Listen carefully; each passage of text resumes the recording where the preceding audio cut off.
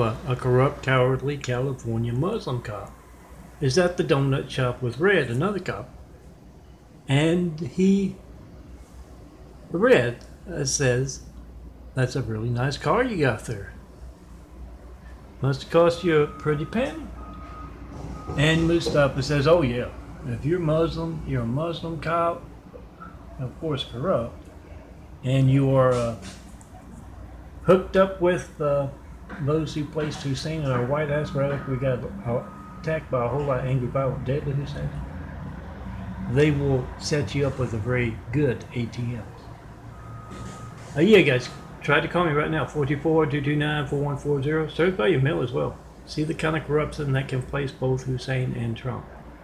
Come see me in person. That corruption has to end. Make a video of every child in America's life on being hijacked. See that phone as every child in America's life. I make a video, post it. With people must be reported.